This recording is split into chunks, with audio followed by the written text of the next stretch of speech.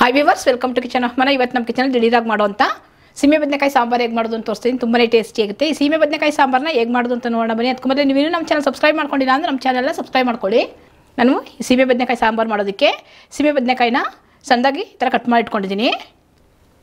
ಜೊತೆಗೆ ಬೇಳೆ ಮತ್ತು ಟೊಮೊಟೊನ ಬೇಯಿಸಿಟ್ಕೊಂಡಿದ್ದೀನಿ ಕುಕ್ಕರ್ಲಿ ಸ್ವಲ್ಪ ಅರಿಶಿನ ಮತ್ತು ಎಣ್ಣೆ ಹಾಕಿ ಬೇಯಿಸಿಟ್ಕೊಂಡಿದ್ದೀನಿ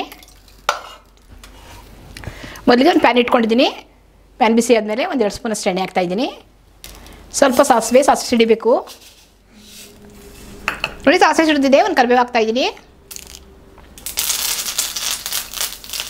ಜೊತೆಗೆ ಸಣ್ಣಗೆ ಹೆಚ್ಚಿರುವಂಥ ಈರುಳ್ಳಿ ಮತ್ತು ಒಂದು ಒಣಮೆಣಸಿನ್ಕಾಯಿ.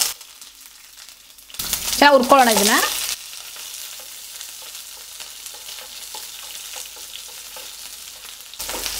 ನೋಡಿ, ಈರುಳ್ಳಿ ಫ್ರೈ ಆದಮೇಲೆ ಕಟ್ ಮಾಡ್ಕೊಂಡಿರ್ತಾ ಸಿಮ್ಮೆ ಬದನೆಕಾಯಿ ಕೊಂಡು ಚೆನ್ನಾಗಿ ಎಣ್ಣೆ ಹುರ್ಕೋಬೇಕು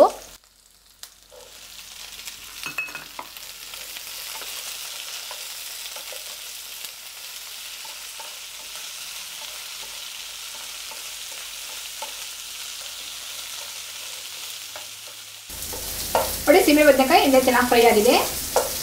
ಒಳ್ಳೆ ಗಮವರೆಗೂ ಈ ಥರ ಫ್ರೈ ಮಾಡ್ಕೋಬೇಕು.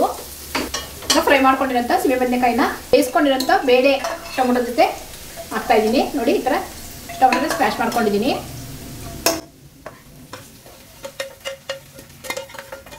ಚೆನ್ನಾಗಿ ಮಿಕ್ಸ್ ಮಾಡ್ಕೊಳ್ಳೋಣ.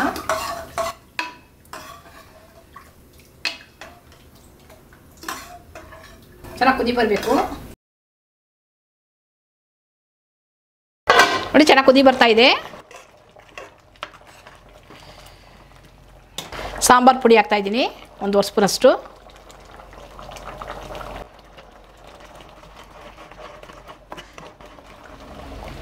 ರುಚಿ ತಗಷ್ಟು ಉಪ್ಪು ಹಾಕ್ತಾ ಇದ್ದೀನಿ.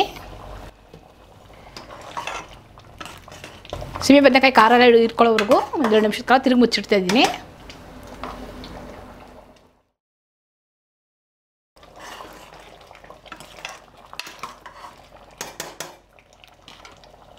ನೋಡಿ, ಸಾರು ಚೆನ್ನಾಗಿ ಕುದಿ ಬರ್ತಾ ಇದೆ. ಒಂದೆರಡು ಸ್ಪೂನಷ್ಟು ತೆಂಗಿನ ತುರಿ ಹಾಕಿದ್ದೀನಿ. ಸ್ವಲ್ಪ ಹುಣಸೆ ರಸ ಬಿಡ್ತಾ ಇದ್ದೀನಿ.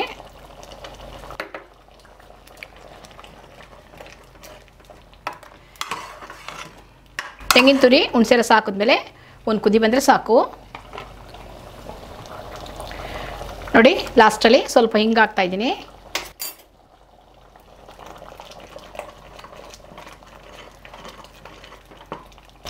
ಸ್ವಲ್ಪ ಕೊತ್ತಂಬರಿ, ಸ್ವಲ್ಪ ಕರಿಬೇವು ಹಾಕ್ತಾಯಿದ್ದೀನಿ ಲಾಸ್ಟಲ್ಲಿ ನೋಡಿ ನೀರಾಗಿ ಮಾಡ್ಕೊಳ್ಳೋಂಥ ಸೀಮೆ ಬದನೆಕಾಯಿ ಸಾಂಬಾರು ರೆಡಿಯಾಗಿದೆ ತುಂಬಾ ಟೇಸ್ಟಿಯಾಗಿರುತ್ತೆ ನೀವು ಇನ್ನು ಸ್ವಲ್ಪ ತೆಳ್ಳಗೆ ಬೇಕು ಅಂದರೆ ಇನ್ನು ಸ್ವಲ್ಪ ತೆಳ್ಳಗೂ ಕೂಡ ಮಾಡ್ಕೊಳ್ಬೋದು.